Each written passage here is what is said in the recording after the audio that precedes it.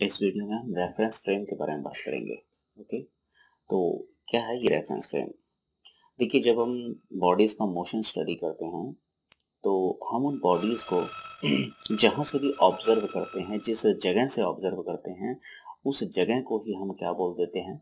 Reference frame example के लिए मान लीजिए, यहाँ पे खड़ा कोई पर्सन मान लीजिए ज़मीन पे ही खड़ा। यहाँ से ये किसी ब्लॉक को ऑब्ज़र्व कर रहा है। तो इसे इस ब्लॉक की पोजीशन को पोजीशन पता करनी है इसकी पोजीशन क्या है तो ये क्या करेगा? ये व्यक्ति, ये आदमी, ये पर्सन अपने साथ एक कोऑर्डिनेट सिस्टम जुड़ा हुआ अज्यूम करेगा। एक्चुअली अपने साथ नहीं। ये जहाँ खड़ा है, जिस ग्राउंड पे खड़ा है, ये मान लेगा कि वहाँ से कोई एक्स वाई जेड एक्सिस का सिस्टम जुड़ा हुआ है वहाँ पर। ठीक?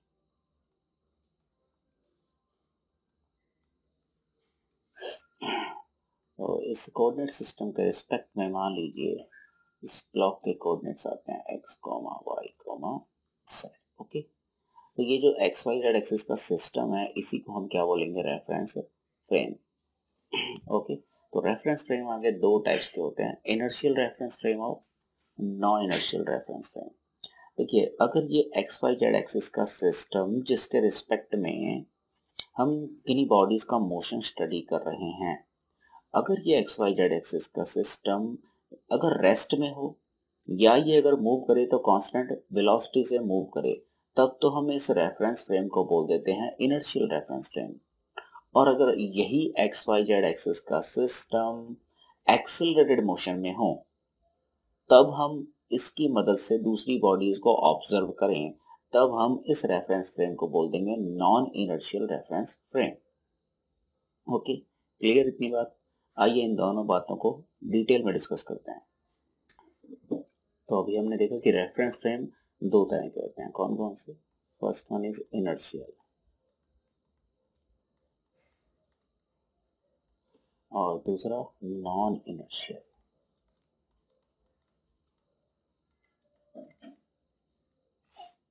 inertial reference frame ये नाम उस रेफरेंस फ्रेम को दिया गया है जो या तो रेस्ट में हो,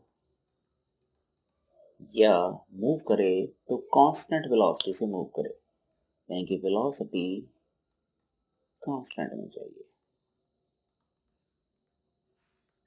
इस रेफरेंस फ्रेम में न्यूटन लॉ अप्लाई किए जा सकते हैं। कोई दिक्कत नहीं आती आपको न्यूटन लॉ अप्लाई करते वक्त इस फ्रेम में। नॉन इनर्शियल रेफरेंस फ्रेम ये क्या होता है? देखिए, वो रेफरेंस फ्रेम जो मूव तो करे, लेकिन वो एक्सिलरेटेड मोशन में हो।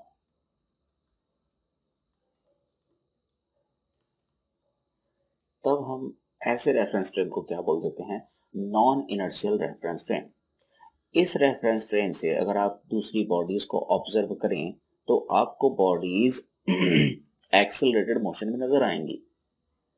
इस रेफरेंस फ्रेम से दूसरी बॉडीज को ऑब्ज़र्व करने पर आप उन पे न्यूटन्स लॉज अप्लाई नहीं कर पाते। आपको उसमें दिक्कत आती है। क्या दिक्कत आती है अभी हम डिस्कस करते हैं। और अगर इस इनर्शियल फ्रेम से देखते हुए आप न्यूटन्स लॉ अप्लाई करना चाहते हैं तो आपको एक नकली फोर्स एक फिक्टिटियस फोर्स का सहारा लेना पड़ता है। ये सब बातें आइए डिस्कस करते हैं। आइए सबसे पहले इनर्शियल रेफरेंस फ्रेम की बात करते हैं। तो देखिए, मान लीजिए आप किसी व्हीकल को ऑब्ज़र्व कर रहे हैं, किसी गाड़ी को आप ऑब्ज़र्व कर रहे हैं। ये आपके सामने रोड रोड पर से कोई गाड़ी गुजरती हुई जा रही है। आप यहाँ रोड के किनारे पे खड़े हुए मान लीजिए इसको देख रहे हो, ठीक है? आप यहाँ से इसे देख रहे हैं। मान लीजिए गाड़ी जो है वो मूव नहीं कर रही। मूव कर ही रही है मान लीजिए उसकी वेलोसिटी है ज़ीरो और आप जहाँ खड़े हैं, वो ग्राउंड वो ग्राउंड भी इस गाड़ी के रिस्पेक्ट में मूव नहीं कर रहा। या यूँ कह लीजिए, आप जहाँ खड़े हैं, उस ग्राउंड से जो कोऑर्डिनेट सिस्टम अटैच्ड है, वो मूव नहीं कर रहा। ओके तो आप इस गाड़ी को जब देखेंगे तो आप पाएँगे कि गाड़ी का डिस्टेंस ना आपसे इंक्रीज हो रहा है, ना आपसे डिक्रीज हो रहा है। आप क्या देखेंगे गाड़ी किसमें है? रेस्ट में। आपके रिस्पेक्ट में गाड़ी किसने है रेस्ट में। तो आपके माइंड में क्या आएगा हम्म? अगर आपने न्यूटन फ़र्स्ट लॉ पढ़ा है तो आप तो यही कहेंगे कि no force is acting on the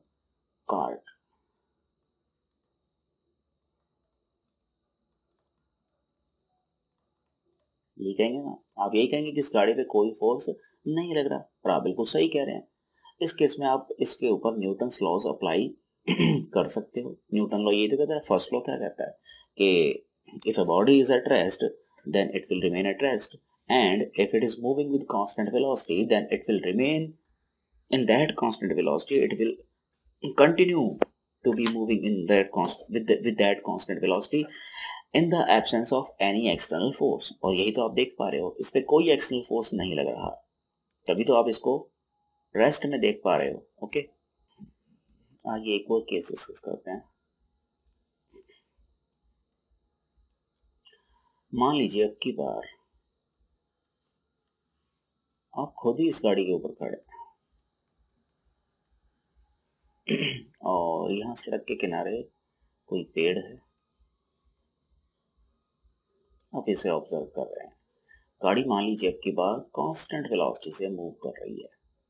तो एक्चुअल में जब आप इस गाड़ी पे खड़े हैं तो आप इस गाड़ी से इस पेड़ को देख रहे हो।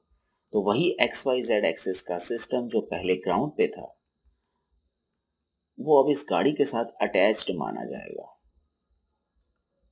ओके जब आप इस पेड़ को देखेंगे, क्योंकि आपकी गाड़ी कांस्टेंट वेलोसिटी से मूव हो रही है तो अगर राइट हैंड साइड में आपकी गाड़ी जा रही हो तो आपको ये पेड़ लेफ़्ट हैंड साइड में उसी कांस्टेंट वेलोसिटी से मूव होता हुआ नज़र आएगा, क्योंकि ये पीछे छूटता जाएगा।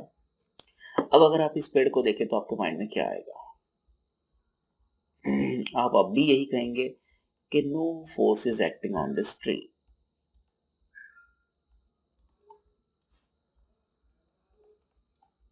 ऐसा आप क्यों कह रहे हो? क्योंकि आप ये देख पा रहे हो कि पेड़ आपसे दूर तो जा रहा है, लेकिन उसमें कोई एक्सेलरेशन नहीं है, उसकी वेलोसिटी कैसी है? कांस्टेंट और आपने तो न्यूटन फ़र्स्ट लॉ में यही पढ़ा है कि अगर कोई बॉडी कांस्टेंट वेलोसिटी से मूव हो रही हो इट मीन उस पर कोई फोर्स नहीं लग रहा। आप बिल्कुल सही बोल रहे हैं, आप कुछ गलत नहीं कह रहे। अभी तक आपका जो फ्रेम ऑफ़ रेफरेंस है वो कैसा है? इनर्शियल रेफरेंस फ्रेम क्योंकि उसमें लॉ ऑफ़ इनर्शिया आप अप्लाई कर पा रहे हो। आप बिल्कुल सही कह रहे हैं। ग्राउंड पे खड़ा हुआ आदमी भी कोई यही बात कहेगा। वो भी यही कहेगा कि इस पेड़ पे कोई फोर्स एक्ट नहीं कर रहा। उसे क्योंकि ये पेड़ किसमें नज़र आएगा? रेस्ट में। तो वो कहेगा कि इस पर कोई फोर्स नहीं लग रहा। वैसे ये पर्सन कैसे रेफरेंस फ्रेम से इस पेड़ को देख रहा है? ये भी इनर्शियल रेफरेंस फ्रेम से देख रहा है और आप भी इनर्शियल रेफरेंस फ्रेम से देख रहे हो। तो दोनों इस पेड़ के बारे में बिल्कुल सही कंक्लूजन निकाल रहे हो। आप दोनों ही क्या कह रहे हो? इस पर कोई फोर्स एक्ट नहीं कर रहा। ये कह रहा है कि ये रेस्ट में है, इसलिए कोई फोर्स नहीं लग रहा है इस पे। आप कह रहे हो कि ये कांस्टेंट वेलोसिटी से मूव कर रहा है, इसलिए इस पे कोई फोर्स नहीं लग रहा। ओके तो अब तक कोई दिक्कत नहीं आप आराम से Newton laws of motion in in situations में अप्लाई कर पा रहे हो। कब? जब आप अदर बॉडीज को कहाँ से देख रहे हो? इनर्शियल रेफरेंस फ्रेम से। अब आइए बात करते हैं नॉन इनर्शियल रेफरेंस फ्रेम की। मान लीजिए, अब आप जिस गाड़ी पे हैं, मान लीजिए आप किसी गाड़ी पे बैठे हैं, लेकिन अब की बार क्या है कि आपकी जो गाड़ी है ना, वो एक्सेलरेटेड मोशन में है। ये रहे आप।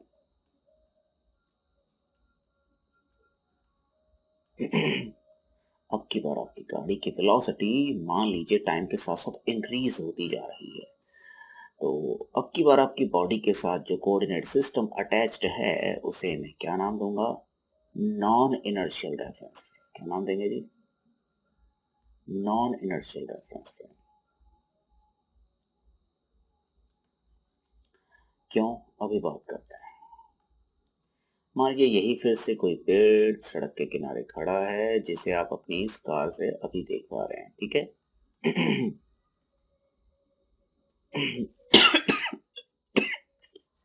सॉरी अब क्योंकि आपकी गाड़ी एक्सेलरेटेड मोशन में है तो आप इस पेड़ से दूर तो जाएँगे और ये पेड़ आपसे दूर होता हुआ आपको फील होगा, लेकिन अब की बार ये आपको एक्सिलरेटेड मोशन में नज़र आएगा।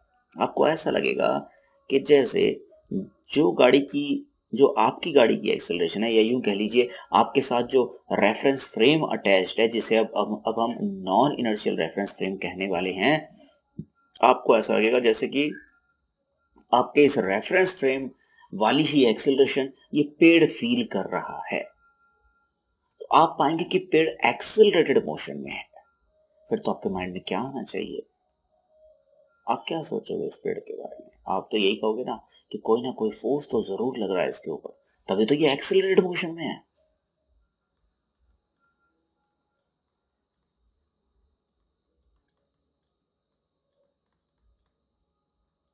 ओके तो आपने इस पेड़ को एक नॉन इनर्शियल रेफरेंस फ्रेम से देखा। एक ऐसे रेफरेंस फ्रेम से देखा जो कुछ एक्सेलरेशन से मूव कर रहा था। तो आपने इस बॉडी के बारे में, इस पेड़ के बारे में, जो एक्चुअल में रेस्ट में है, उसके बारे में क्या क्या कंक्लूजन निकाला आपने? यही ना कि इस पे कोई फोर्स लग रहा है है ना? आप बिल्कुल सही बोल रहे हो। आपको तो ऐसा लगेगा, क्योंकि आपको इसमें एक्सेलरेशन फील होगी, नज़र आएगी तो आप तो यही कहोगे कि इस पर कोई फोर्स लग रहा है। लेकिन इसी पेड़ को कोई बंदा इनर्शियल रेफरेंस फ्रेम से देखे, ज़मीन पे खड़े होकर के देखे तो वो तो कहेगा कि नहीं जी, इस पर कोई फोर्स नहीं लग रहा। मेरे और इस पेड़ के बीच का डिस्टेंस तो चेंज हो ही नहीं रहा। ये एस्ट में है। इसलिए ये क्या कहेगा? कि इस पर कोई फोर्स नहीं लग रहा। और ये सही कह रहा है, बिल्कुल सही कह रहा है। एक्चुअल में इस पेड़ पे कोई फोर्स नहीं लग रहा। तो होता क्या है, जब हम कुछ बॉडीज को, जब हम बॉडीज को नॉन इनर्शियल रेफरेंस फ्रेम से ऑब्ज़र्व करते हैं तो हमें उन बॉडीज पर एक फोर्स लगता हुआ फील होता है। वैसे एक्चुअल में उस बॉडी पे कोई फोर्स नहीं लग रहा। तो इस नकली फोर्स को, इस आभासी फोर्स को, इस फिक्टिटियस फोर्स को हम बोलते हैं जूडो फोर्स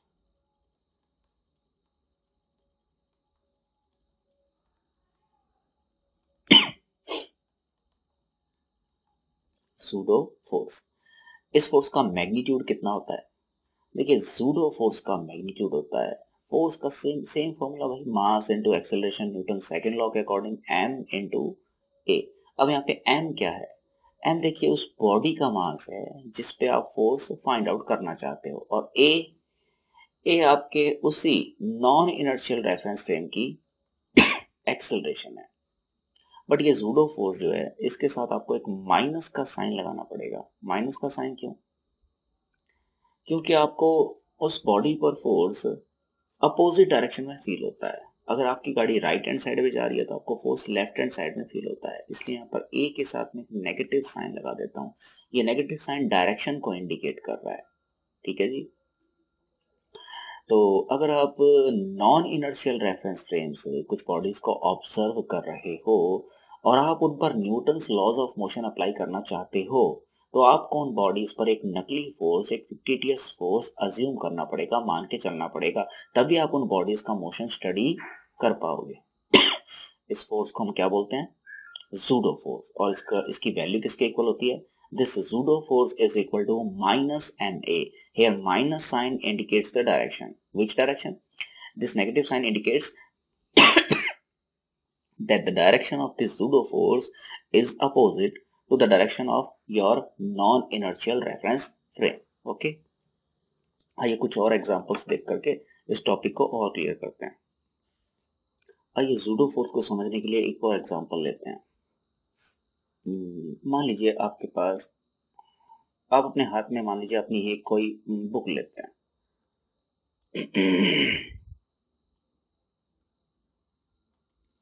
इस बुक के ऊपर आप अपना कोई पेन रख दीजिए ठीक है या पेंसिल रख दीजिए। अब एक काम करिए, इसे अपने दोनों हाथों से पकड़ करके बिल्कुल हॉरिजॉन्टल रखिए और किसी एक डायरेक्शन में ज़ोर से मूव करवाइए। ऐसा करके एक्चुअल में आप इस कॉपी को एक्सेलरेट करवा रहे हो। या यूँ कह दीजिए, ये जो पेन है, ये एक ऐसे रेफरेंस फ्रेम में रखा है जो एक्सेलरेट हो रहा है। मतलब ये रेफरेंस फ्रेम नॉन इनर्शियल बन गया।